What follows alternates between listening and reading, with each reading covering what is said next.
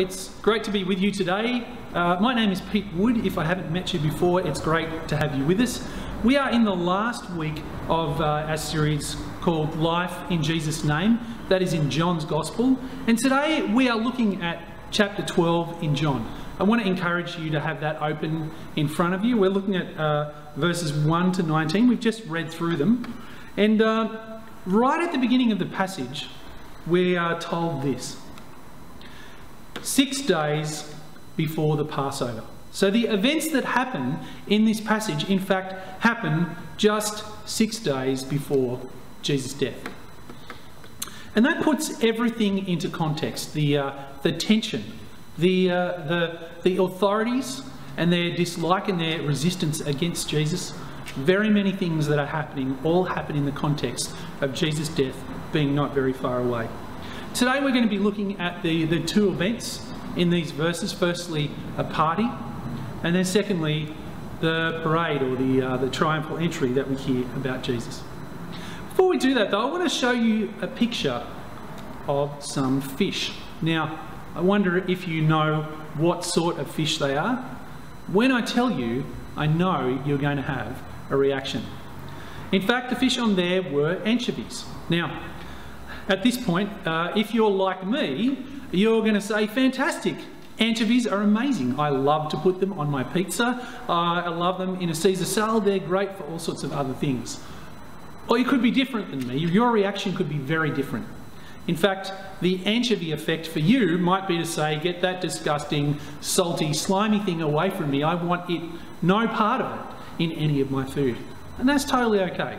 Different people react to different things in different sorts of ways. And today, what I want to do is to examine the reactions that we find against Jesus in these verses, in these two different events. The first of them is the party. Well, Jesus was famous for uh, being at parties with all sorts of people, banquets. Uh, this is no different in some sorts of ways. It's, uh, it's thrown in his honour. Lazarus, who uh, James talked to us about last week, having been raised from the dead, was also at this banquet. And there's all sorts of different people there. But the people that the, the Gospel uh, writer John tells us principally about, uh, and their reactions are these three people Martha, Mary, and Judas Iscariot. We're also going to talk about the, um, the chief priests a little later, but let's, uh, let's talk about these three characters. Well, first of all, we hear about Martha. Martha in this passage, I guess characteristically, is being that uh, servant hearted and faithful follower of Jesus. She continues to serve throughout the party. But the really interesting thing happens uh, on the part of Mary. And this is Mary of Bethany, uh, uh, that is Lazarus and Martha's sister, and not to be confused with um, Mary Magdalene, who's often sort of co opted into this story, but uh, doesn't really seem to be a part of it. Mary does a very unique thing, and that's why John records this. She takes, well, it seems like a litre of very expensive perfume. She pours it out onto Jesus' feet in the midst of the party as, as he sort of lays back on the ground, his feet behind him. She, she comes up uh, uninvited and does this. And it's, a, it's an odd event where, you know, I don't know about you, I don't particularly like having my feet touched by other people. Uh, in Jesus' culture, people were used to having their feet washed, but this is a, a very unique way of doing it. But Mary is doing something, well, outrageous, you might say. She is, in fact, pouring out an enormous amount of money on Jesus' feet. She willingly, in fact, pours out $40,000 on Jesus' feet. $40,000 worth of perfume. And that in itself, you, you have to kind of stand back and take a deep breath and try to analyse what she's doing there because it's odd. But more than that, she then begins to wipe his feet with her hair. And wiping them with her hair, beyond just being, well, grubby and kind of filthy, was scandalous. There's a reason for that, and that is because in Numbers 5 11 to 22, uh, this is a passage, passage that talks about women being unfaithful to their husbands. There's a sort of inference that the way that women display their hair uh, displays their unfaithfulness in some way. And so the tradition of Jewish women in Jesus' time and up until now, in fact, is that they cover their hair and that only their husbands see their hair. So by, by, by Mary um, letting her hair down in the first place, that's a sort of, you know, cultural no-no. But then to wipe Jesus' feet with it is downright scandalous. There's sort of overtones there of impurity and things like that. In fact, what Mary is doing is an act of absolute devotion. It's striking, really. And as I, as I sort of read this and analysed it and thought about it and reflected on it for myself, I had to ask myself, and I wonder whether you would do the same, how devoted are you to Jesus? Are you as devoted as Mary is? I, I kind of struggled with this, and I'll tell you why. I think in our sort of middle class Sydney culture, uh, we like to think of ourselves in certain sorts of ways. We like to think of ourselves as being reasonable, as, as being sensible. We like to self, think of ourselves as being logical and, of course, being careful with the things that we have, uh, the things that we do, the things that we say. I think these would characterise the way that our church culture works as well. We're reasonable, sensible, logical, careful people. But Mary's acts in her day and even ours don't feel like that. Mary's acts feel rash. Uh, to, to pour out a litre of perfume onto a, a man's feet is, you know, uninvited. It seems rash. Uh, it seems wasteful. I mean, if this was a family heirloom and, or something that was part of her dowry, how could she do that? It, it seems an emotional thing to do. You know, she's sort of expressing her emotions in a way that, well, frankly, it's sort of uncomfortable for us to encounter. And of course, it seems careless, given given her reputation and maybe the uh, the things that could be said about her afterwards.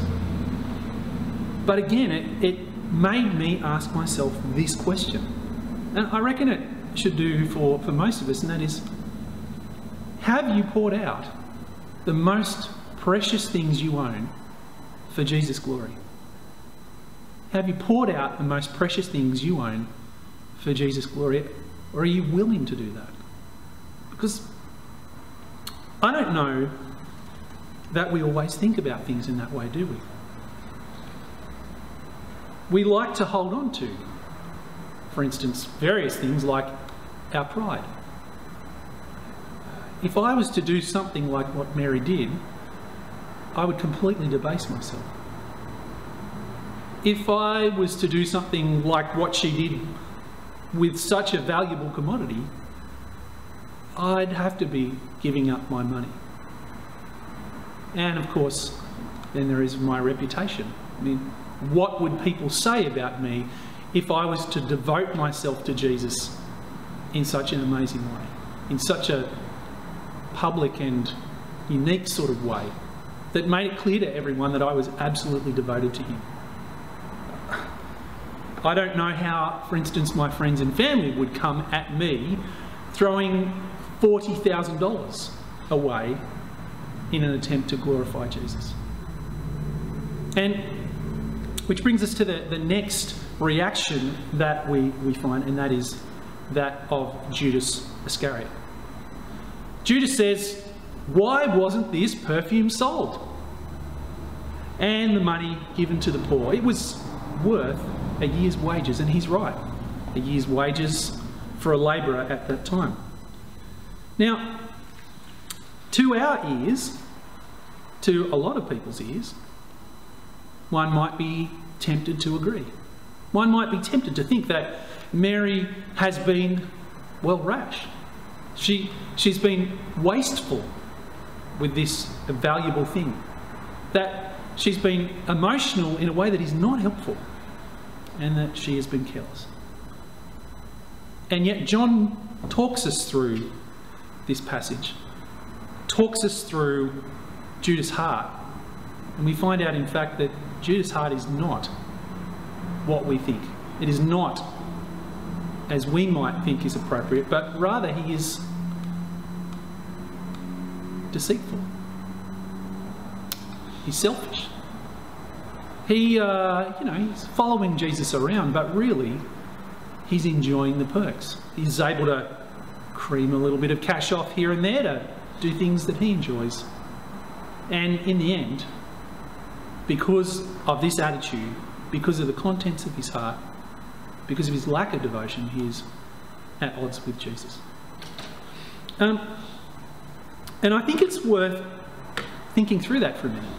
I mean, we can be part of Jesus' entourage, if we want to call it that, for all sorts of different reasons. We might like the company. We might enjoy the food. We might be privy to some of the, well, perks of being part of the church. But is that because we actually follow Jesus? Or is that because there's something in it for us? And if it's just because it's something in it for us, then in the end, we find ourselves at odds with Jesus.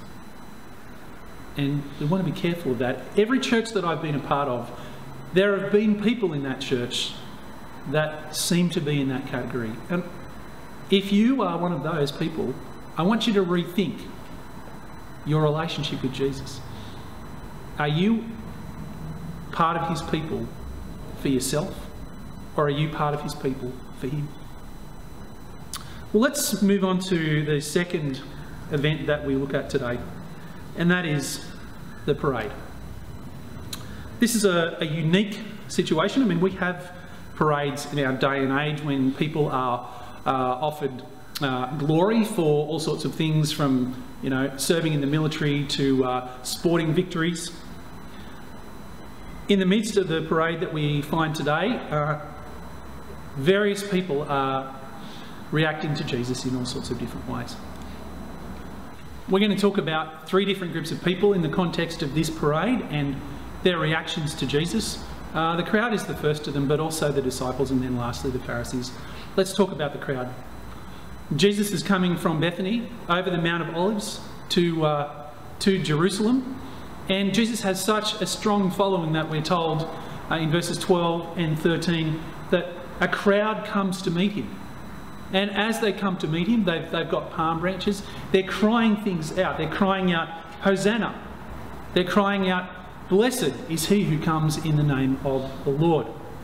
And, uh, you know, we might be wondering, well, what's going on there? Like, what's, what's happening that they would be saying these things? And, of course, there is some Old Testament context to this.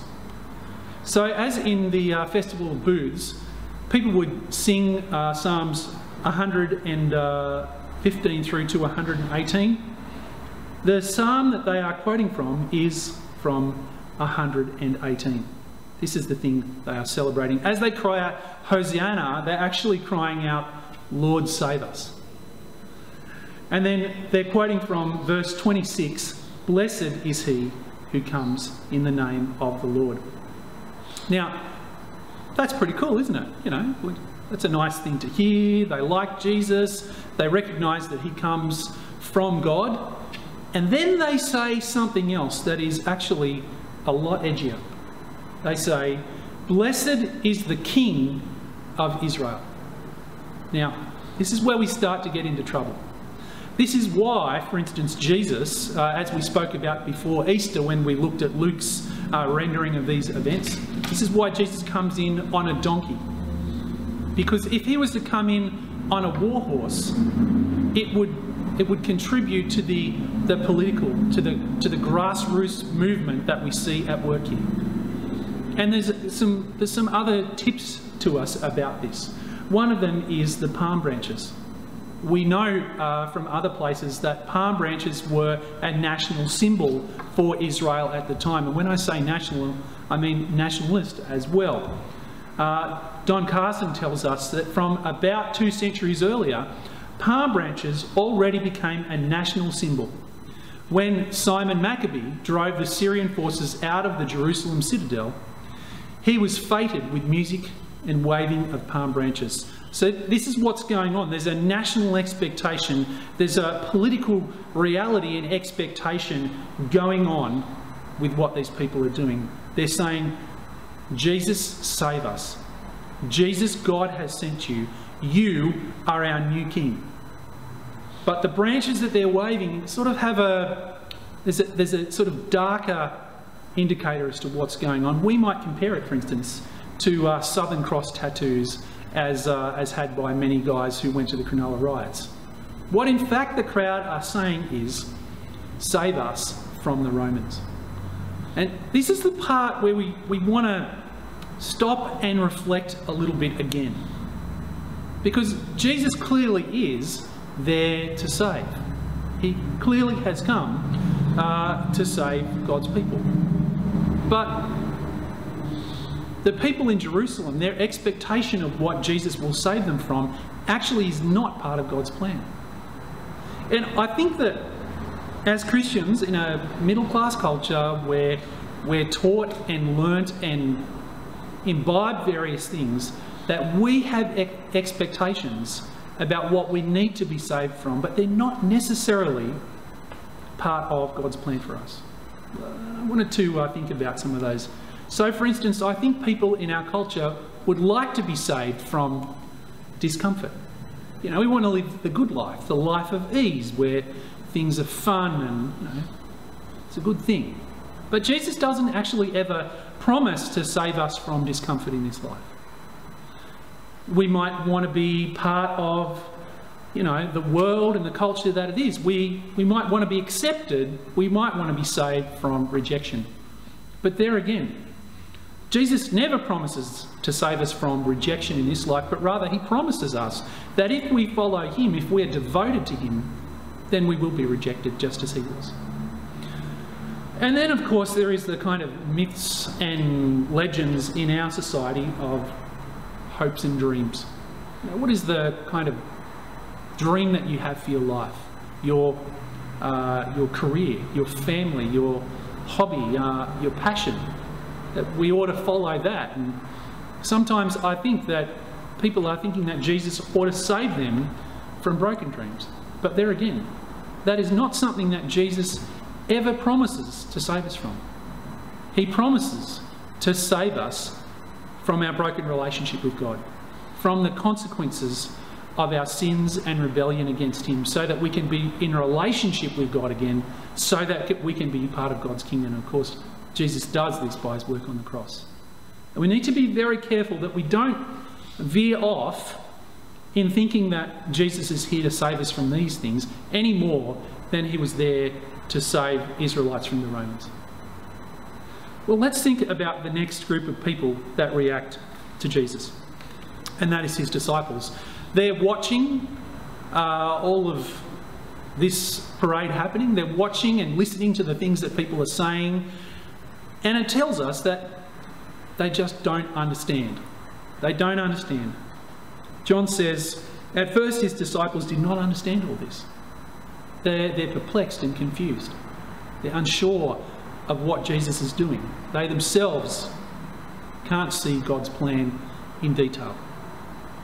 I guess I want to say to you that if you find yourself in this position, that that is okay.